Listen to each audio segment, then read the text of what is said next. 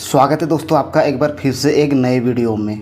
दोस्तों, अगर 125 सीसी में बाइक लेने के सोचते हैं तो 125 सीसी में कई सारे बाइक ऑप्शन देखने को मिलता है। लगभग 125 सीसी में 9 से 10 बाइकें आती है। तो ऐसे में दोस्तों, एक बाइक को चुनना काफ़ी मुश्किल हो जाता है कि कौन सी बाइक हमारे लिए परफेक्ट रहेगा। सो दोस्तों, इस वीडियो में आपको बताने वाला हूँ कि कौन सी बाइक आपके लिए परफेक्ट रहेगा, कौन सी बाइक आपके सोच के हिसाब से अच्छी रहेगी, किसमें आपको ज़्यादा माइलेज मिलेगा, किसमें आपको ज़्यादा टॉप स्पीड मिलेगा, कौन सी बाइक की रिसेल वैल्यू अच्छी होने वाली है, सब कुछ के बारे में डिटेल से बात करेंगे। सो दोस्तों वीडियो को लास्ट तक बने रहिएगा। सबसे पहले मैं बता देता हूँ 125 सीसी में होंडा की तरफ़ से दो बाइकें आता है हीरो की तरफ़ से दो बजाज की तरफ़ से तीन टीवीएस की तरफ़ से एक और के की तरफ़ से दो बाइकें यहाँ पर दोस्तों के की बाइक की बात नहीं करेंगे, क्योंकि के की बाइक थोड़ी महँगी आती है।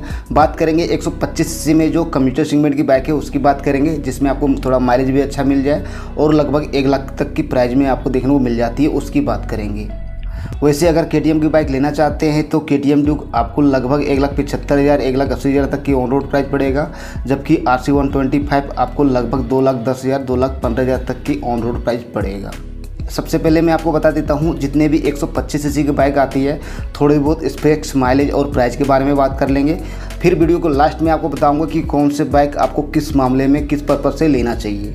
शुरुआत करते हैं। सबसे कम दामों में जो 125 सीसी की बाइक आती है सी वी साइन और सुपर स्प्लेंडर ये दोनों बाइकें लगभग एक ही प्राइस रेंज में आता है, लगभग सतासी हज़ार से लेकर अट्ठासी हज़ार, नवासी हज़ार तक की ऑन रोड प्राइस आपको ये दोनों बाइकों में देखने को मिल जाएगा। ये दोनों बाइकें उनके लिए परफेक्ट रहेगा, जिन्हें ज़्यादा स्पोर्टी लुक नहीं चाहिए सिंपल लुक वाली चाहिए, ज़्यादा अग्रेसिव डिज़ाइन नहीं चाहिए तो उनके लिए परफेक्ट रहेगा। क्योंकि इसकी डिज़ाइन देख सकते हैं, दोनों बाइकों की काफ़ी क्लासिकल लुक और काफ़ी मतलब सिंपल लुक देखने को मिलेगा।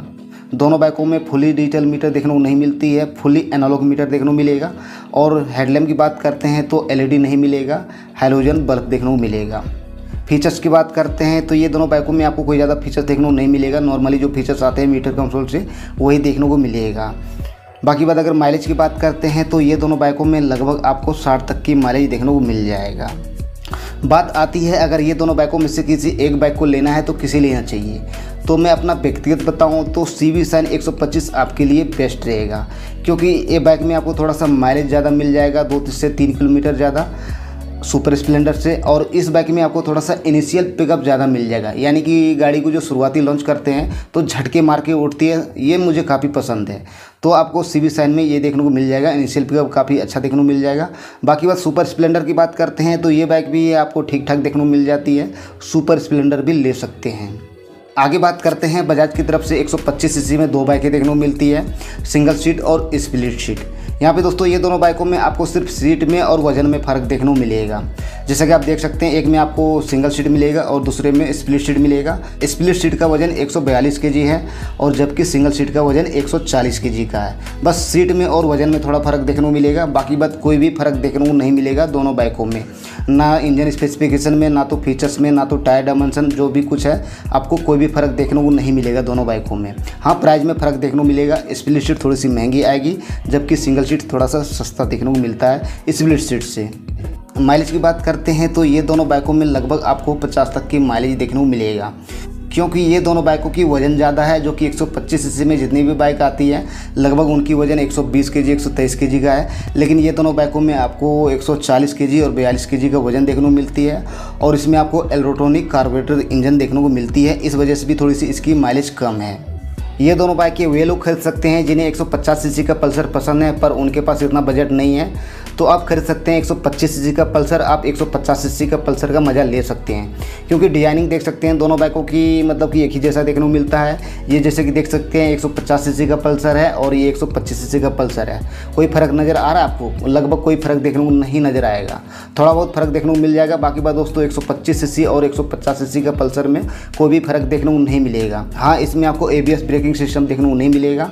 तो आप देख सकते हैं 125 सीसी का पल्सर भी काफ़ी अच्छी है, इसे आप खरीद सकते हैं, अगर आप 150 सीसी का पल्सर नहीं खरीद पाते हैं तो। आगे बात करते हैं, बजाज की तरफ़ से एक बाइक और आती है 125 सीसी में, जो कि पल्सर एन एस की बात करते हैं। इसकी प्राइस की बात करते हैं तो जितना में पल्सर 125 सिंगल सीट और split seat on road price देखने को मिलेगा। इतना तो इसकी अकेला शोरूम प्राइस है। इसकी शोरूम प्राइस लगभग 98,000 तक की पड़ती है जो कि ऑन रोड प्राइस लगभग एक लाख पंद्रह हज़ार एक लाख सोलह हज़ार तक की पहुँच जाएगी इस बाइक की। यहाँ पर दोस्तों बात आता है N S one twenty five में इतना पैसा खर्च कर रहे हैं एक लाख पंद्रह हज़ार एक लाख सोलह हज़ार रुपया। तो इसमें आपको मिलता क्या है? तो दोस्तों कह सकते हैं 125 सीसी इंजन में आपको एन एस और एन एस का बॉडी देखने को मिलेगा। बाकी बात इसमें आपको कुछ भी देखने को नहीं मिलेगा। फीचर्स की बात करते हैं तो नॉर्मली जो फीचर्स देखने को मिलती है बजाज की पल्सर 125 में, वही फीचर्स इसमें भी देखने को मिलेगा। ना ही इसमें आपको फुली डिजिटल मीटर देखने को मिलेगा और ना ही इसमें आपको एलईडी हेडलैम्प मिलेगा। माइलेज की बात करते हैं तो माइलेज आपको 45 तक की देखने को मिलेगा, क्योंकि इस बाइक की जो वज़न है काफ़ी ज़्यादा है, एक सौ का, और इसमें भी फ्यूल इंजेक्शन नहीं आता है, इलेक्ट्रॉनिक कार्बोरेटर इंजन देखने को मिलती है इस बाइक में। यहाँ पर दोस्तों मैं कहना चाहूँगा N S one twenty five में एक साथ एक लाख पंद्रह हज़ार रुपये, एक लाख सोलह हज़ार रुपये खर्च कर रहे हैं। तो इसके जगह पे कई और बाइकें हैं जो कि इससे बड़े सीसी का इंजन देखने को मिल जाएगा। बजाज की तरफ़ से ही पल्सर 150 न्यून ले सकते हैं। इसी प्राइस रेंज में आपको देखने को मिलेगा। और होंडा की तरफ़ से होंडा यूनिकॉर्न 160 ले सकते हैं, जो कि ये बाइक भी इसी प्राइस रेंज में देखने को मिलेगा। एन एस जितना में आपको देखने को मिलता है, उतना ही प्राइस रेंज में ये भी बाइकें आ जाएगा, जो कि इन बाइकों में आपको थोड़ा सा ज़्यादा पावरफुल इंजन मिल जाएगा टॉप स्पीड ज़्यादा मिल जाएगा स्टेबिलिटी अच्छी मिल जाएगी, और सबसे बड़ी बात, उसमें आपको ABS ब्रेकिंग सिस्टम देखने को मिल जाएगा। बाकी बात आप देख सकते हैं, अगर आपको एन एस आपको पसंद आता है तो आप खरीद सकते हैं। आगे बात करते हैं तो हीरो की तरफ़ से आ जाता है ग्लैमर एक्स टेक इस बाइक की ऑन रोड प्राइस की बात करते हैं तो ये बाइक आपको लगभग अंठानवे हज़ार, निन्यानवे हज़ार तक की ऑन रोड प्राइस देखने को मिल जाएगा। माइलेज की बात करते हैं तो इस बाइक में आपको लगभग साठ तक की माइलेज मिल जाएगी। फीचर्स की बात करते हैं तो इसमें आपको फुली डिजिटल मीटर देखने को मिल जाती है। साथ में आपको ब्लूटूथ कनेक्टिविटी मिल जाती है। इन्फॉर्मेशन की बात करते हैं तो इसमें आपको real time mileage distance to empty gear position indicator ये सारा इन्फॉर्मेशन आपको देखने को मिल जाएगा। इसके अलावा इसमें आपको यूएसबी चार्जर देखने को मिल जाएगा, यानी कि अपना फ़ोन भी चार्ज कर सकते हैं। और इसके अलावा बहुत सारा फीचर्स इसमें देखने को मिल जाएगा। तो कह सकते हैं ग्लैमर एक्सटेक एक बेस्ट ऑप्शन है इस प्राइस रेंज में, जो कि अच्छा खासा आपको इस बाइक में फीचर्स देखने को मिल जाता है। अब आगे बात करते हैं तो होंडा की तरफ़ से आ जाता है S P one twenty five इस बाइक की डिज़ाइनिंग देख सकते हैं, काफ़ी अच्छा लगता है ये बाइक और 125 सीसी में सबसे ज़्यादा बिकने वाली बाइक है अभी तक। बाकी बात बाद में देखते हैं, इस बाइक की नंबर वन पोजीशन रहती है कि नहीं रहती है, क्योंकि टी की तरफ़ से राइडर वन आ गया है, तब से इस बाइक की थोड़ी सी वैल्यू कम हुई है। इस बाइक में आपको लगभग 60 प्लस माइलेज मिल जाएगा, क्योंकि इस बाइक की जो वज़न है काफ़ी कम है 117 जी फीचर्स की बात करते हैं तो इसमें आपको फुली डिजिटल मीटर देखने को मिल जाएगा। इसमें आपको ब्लूटूथ नहीं मिलेगा। इन्फॉर्मेशन की बात करते हैं तो इसमें आपको real time mileage, distance to empty average mileage, gear position, indicator, eco indicator, बहुत सारा इन्फॉर्मेशन देखने को मिल जाएगी। प्राइस की बात करते हैं तो ये बाइक भी आपको लगभग अट्ठानवे हज़ार, निन्यानवे हज़ार तक के देखने को मिल जाएगा ऑन रोड प्राइस आखिरी और छठे नंबर की बात करते हैं तो टी की तरफ़ से न्यू नवेली लॉन्च हुई है T V S Raider one ये दोस्तों 125 सीसी में सबका बाप है फीचर्स के मामले में। ये बाइक में आपको बहुत सारा फीचर्स देखने को मिल जाएगा जो कि 125 सीसी में किसी भी बाइक में इतने सारा फीचर्स देखने को नहीं मिलती है। इसकी डिज़ाइनिंग देख सकते हैं, काफ़ी खतरनाक लगता है, जैसे कि आप देख सकते हैं। लुक डिज़ाइनिंग और फीचर्स के मामले में दोस्तों 125 सीसी में सभी का बाप है ये बाइक बाकी बात दोस्तों आगे चल के ये बाइक कितनी कमाल करती है, ये देखना बाकी है। इसकी ऑन रोड प्राइस की बात करते हैं तो ये बाइक आपको लगभग चौरानवे हज़ार रुपये से लेकर एक लाख एक लाख दो हज़ार तक की चली जाएगी। माइलेज इस बाइक में लगभग आपको 60 प्लस मिल जाएगा। फीचर्स की बात करते हैं तो इसमें आपको काफ़ी एडवांस मीटर कंसोल देखने को मिल जाती है, जैसे कि आप देख सकते हैं, पर इसमें आपको ब्लूटूथ कनेक्टिविटी नहीं मिलेगा, लेकिन इन्फॉर्मेशन आपको बहुत सारा देखने को मिल जाएगा। जैसे कि real time mileage distance to empty gear position indicator and shift guide top speed recorder इस बाइक में आपको डबल राइड मोड देखने को मिल जाएगा इको मोड और पावर मोड इको मोड में आपको ज़्यादा माइलेज मिलेगा और पावर मोड में टॉप स्पीड ज़्यादा मिल जाएगा। इसके अलावा अंडर सीट स्टोरेज मिल जाएगा यूएसबी पोर्ट मिल जाएगा यानी कि अपना फ़ोन भी चार्ज कर सकते हैं। तो, तो कह सकते हैं फीचर्स के मामले में सबसे आगे है ये बाइक 125 सीसी सेगमेंट में। तो ये बाइक एक बेस्ट ऑप्शन है 125 सीसी में, इस प्राइस रेंज में, जो कि आपको अच्छे खासे प्राइस फीचर्स माइलेज अच्छा खासा देखने को मिल जाती है और डिज़ाइनिंग भी काफ़ी अच्छा देखने को मिल जाती है। बाकी बात दोस्तों, अब बात करते हैं कंपेरिजन में कौन सी बाइक कौन से मामले में आगे होता है।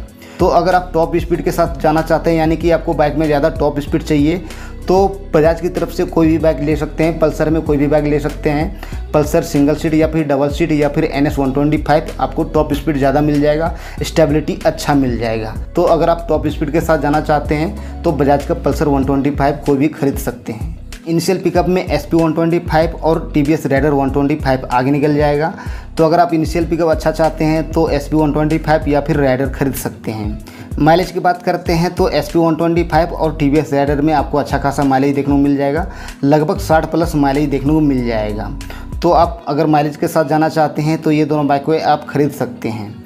इसके अलावा रीसेल वैल्यू की बात करते हैं तो तीनों इंडियन कंपनी पे भारी पड़ता नज़र आ रहा है। होंडा एस पी की रीसेल वैल्यू थोड़ी सी अच्छी मिल जाएगा। तो ऐसे में अगर आप बाद में बाइक को बेचना चाहते हैं तो एस पी आप खरीद सकते हैं। रिसेल वैल्यू दोस्तों, आपको लगभग सभी बाइकों में ठीक ठाक देखने को मिल जाएगा। पर एस पी में आपको थोड़ा सा अच्छा खासा रिसेल वैल्यू देखने को मिल जाएगा।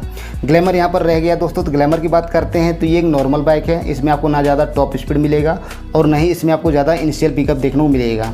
तो खरीद सकते हैं ग्लैमर भी एक ठीक ठाक है। इसमें आपको ब्लूटूथ कनेक्टिविटी वगैरह मिल जाती है, इसकी बिल्ड क्वालिटी अच्छी होती है तो खरीद सकते हैं।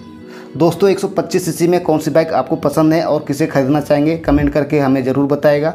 अगर ये वीडियो पसंद आई है तो वीडियो को लाइक कीजिएगा, चैनल को ज़रूर सब्सक्राइब कर लीजिएगा। अगर कोई मन में सवाल हो तो कमेंट करके पूछ सकते हैं, मैं उसकी जवाब देने की पूरी कोशिश करूँगा। वीडियो देखने के लिए धन्यवाद, थैंक यू, जय हिंद।